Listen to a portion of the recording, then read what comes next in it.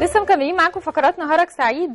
زي ما قلنا في البداية النهارده يوم خاص جدا بنحتفل بيه بالذكرى ال 38 لانتصارنا في حرب أكتوبر سنة 73 يوم بيحمل لنا كل ال- الفخر والقوة بإرادة الجيش المصري اللي قدر إن هو يعبر خط بارليف وإنه ينتصر على قوات العدو.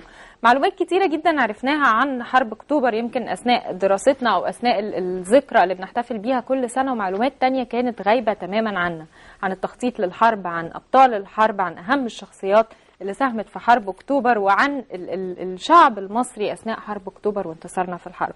هنعرف كل المعلومات دي النهارده من سيادة اللواء أركان حرب دكتور صلاح صلاح الدين خيري. أهلا بحضرتك يا فندم نهارك سعيد. أهلا بيك. منورنا الله يخليك يا يعني أكيد لما بقول حرب أكتوبر بيبقى لها صدى عندك مختلف عن عن أي يوم في السنة وأي احتفال تاني في السنة. هو اولا اليوم بنحتفل مصر والأمة العربية جميعا بالذكرى الثامنة والثلاثون لحرب أكتوبر المجيدة رمضان المجيدة. حرب العزة والكرامة. الحرب العادلة المستحقة للشعب المصري والشعب العربي. الحرب اللي هدمت نظرية الأمن الإسرائيلي واعادت ثقة القوات المسلحة بنفسها واعادت ثقة الشعب المصري والشعب العربي بقواتها المسلحة. كل عام والشعب المصري كله العظيم بخير كل عام والجيش المصري البطل بخير كل عام وحضراتكم جميعا بخير في مصر. وحضرتك طيب يا فندم. يعني عايزين نبتدي مش هقول من سنة 73 ومن التخطيط للحرب بس عايزين نبتدي من من أول النكسة بداية من النكسة. هو الحقيقة ما بنتكلم نكسة دي نكسة دي كلمة طبعا آه، يعني إعلامية أو مادية. هي حقيقة هزيمة. الهزيمة حصلت في مش هتكلم على 48 ولا 56 أنا هبتدي من 67 أيوه. هزيمه الجيش المصري في 67 ما كانش سببها القائد أو الضابط أو الصف أو الجندي المصري. أيوه. لا. كان سببها القرار الخاطئ سواء قرار سياسي أو قرار عسكري. اللي بناء عليه بني القرار السياسي. ليه؟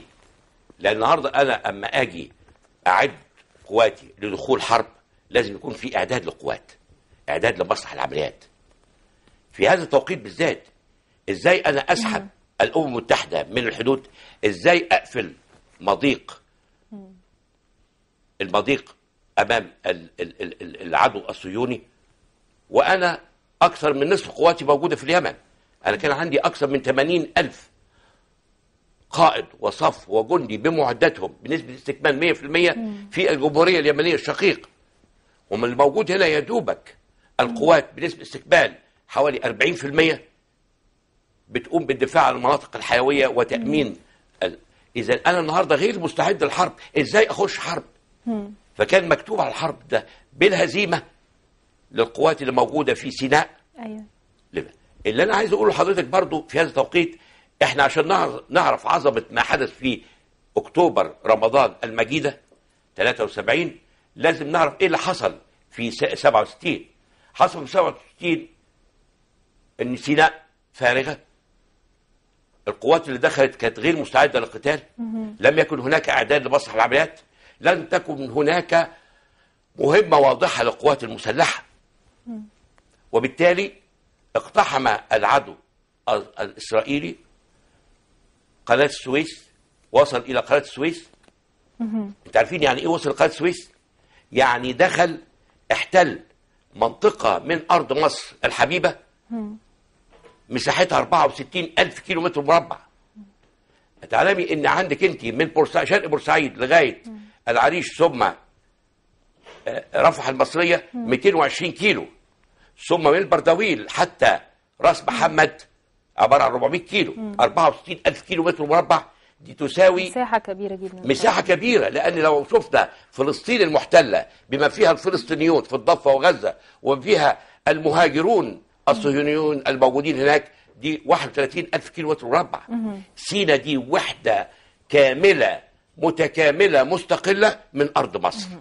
مش بس كده تم تدمير القوات المسلحة ال- آ- آ- آ- المسلحة المصرية. القوات الجوية 90% باقي القوات الموجودة في المية 75% يعني كان خسائر جامدة جدا. أنشأوا 31 نقطة على القناة من غرب من جنوب بورسعيد حتى السويس و17 نقطة يعني 48 نقطة يسيطروا على المحاور المؤدية لقناة السويس في الضفة الغربية. فكانت كارثة كانت هزيمة منكرة.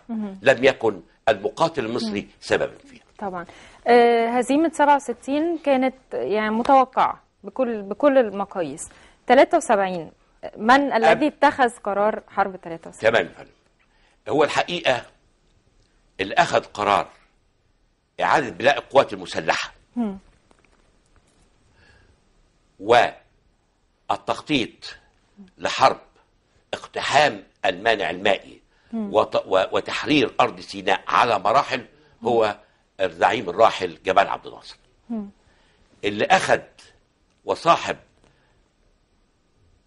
ال ال ال القرار الحرب هو الرئيس الراحل محمد أنور السادات. و- و- وأنا عايز بس قبل ما نبدأ يا يا يا أستاذة يا فاضلة آه، أحيي الشعب المصري اللي هو البطل الحقيقي للحرب 73 آه، عايز برضو أحيي الرئيس جمال عبد الناصر لأن هو خد القرار بتاع حرب الاستنزاف وجهز لحرب أكتوبر 73 الرئيس أنور السادات اللي أخذ قرار وتوقيت حرب 73 آه، آه، أحيي بقى شهداء 48 56 67 الاستنزاف حرب 73 وحتى شهدائنا حتى الآن. فإذا سمحت لي يا ابنتي اتفضل. العزيزة نقف دقيقة واحدة نقرأ الفاتحة على الشهداء. أستأذنك. بسم الله الرحمن الرحيم.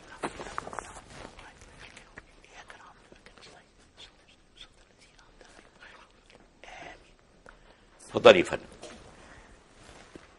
يعني لمعلومية حضرتك ولأبنائنا من شباب الشعب المصري الكريم أن لم تكن هذه حرب القوات المسلحة فقط لا. أولا القوات المسلحة هو جزء من الشعب لأن إحنا أبناء الشعب. نمرة اثنين القوات المسلحة كانت تحارب على جبهة. أما باقي الشعب من إعلام لشرطة لتموين لمواصلات لكله حتى الخدمة المدنية فكانت في الغرب. لم يحدث أي حادث لم يحدث أي انتهاك لأمن وسلامة البلد طوال حرب 73 فتحية للشعب المصري. طبعا. اثنين لأن شاهدت في الإعلام المصري وخصوصا يعني في بعض القنوات الفضائية إني بنركز على أشخاص. لا. العملية دي عملية مستمرة زي ما حضرتك سألتيني وقلت لك. ال- ال- ال- الزعيم الراحل جمال عبد الناصر بدأ بإعداد إعادة بناء القوات المسلحة مع آه، آه، آه، الوزير أمين هويدي والوزير محمد فوزي وجميع قادة القوات المسلحة أما كانوا وزراء. ثم آه، آه، العمليات بدأت من قبل من جمال عبد الناصر من سنة من بعد حرب 67 برئيس هيئة عمليات اللواء طلعت حسن علي ثم ليه اللواء أحمد إسماعيل ثم ليه اللواء سعد مأمون ثم ليه اللواء آه، آه، آه، اللواءات كلها إلى أن وصل إلى رئيس هيئة العمليات اللي هو اللواء أركان حرب محمد غالي جبسي.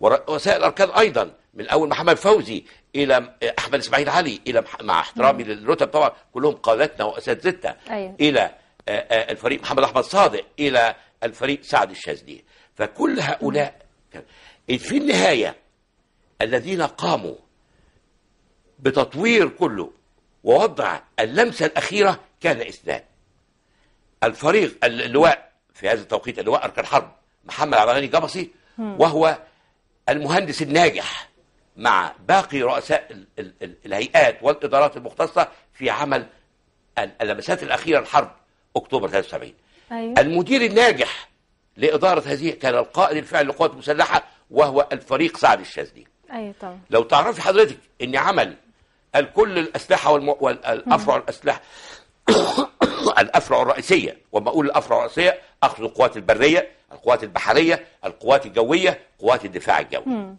قال لهم نترك مهمنا في التخصصية ونركز على حرب أكتوبر 73 أيوه. إحنا عندنا قيود القيود اللي هو ال ال ال ال تأمين القوات البرية اللي هو من 10 ل 15 كيلو. اذا يجب أن تكون مهمتنا في هذه الحدود. وراح عامل منشورات من واحد إلى 40 وشوف حضرتك بقى والابنائنا العوزاء التخطيط التخطيط التخطيط إعداد مسرح العمليات اللي هشتغل فيه. أيوه.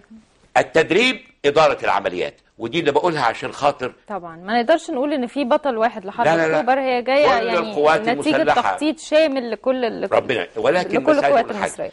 ال- المنشور رقم 41 اللي أصدره ال- رئيس أركان ح- لا آسف رئيس أركان حرب القوات المسلحة بناء على خطة عمليات كان المنشور 41 هو الخطة الفعلية لعمليات القوات المسلحة في حرب 73 وتم تدريب جميع القوات التي ستشترك في الحرب على في الرياح البحيري في ج...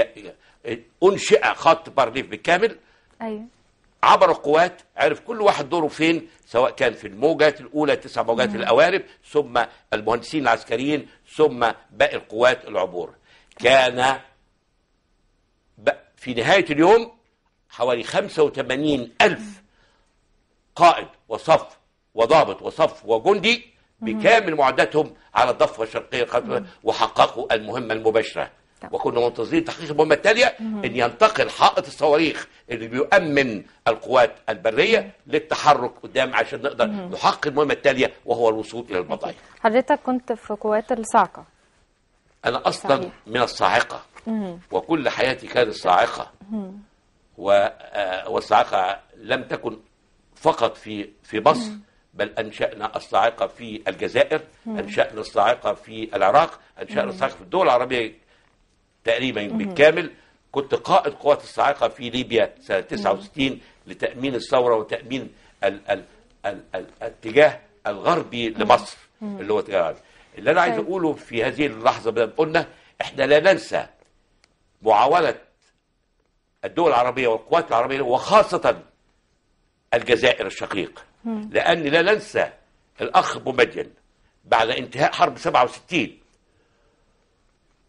وفقدان أكثر من 85 ل 90% من معداتنا وأسلحتنا في سيناء إنه ذهب بنفسه إلى قائد السوفيت إلى قائد السوفيت واعطى لهم شيك وقال لهم يجب أن تعوض مصر بكامل خسائرها التي خسرتها في آه 67 67 ويمكن أنا خرجت في هذا التوقيت. ولمدة ساعة كاملة في قناة دريم أقول مصر والجزائر ملحمة فداء ممنوع الاقتراب منها بعد قبل وبعد ماتش الكورة الشهير.